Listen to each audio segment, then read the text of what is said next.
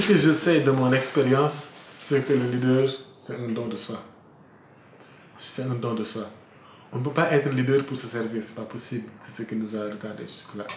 Si on est leader, d'abord c'est convoqué. Ce n'est pas quelque chose que l'on. C'est pas quelque chose, un objet à posséder, comme dirait l'autre.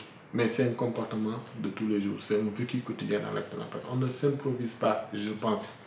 Mais c'est une certaine manière de s'engager, d'essayer d'aider les gens à aller de l'avant, sans contrepartie. Parce que tant qu'il y a des contreparties, souvent il y a un problème.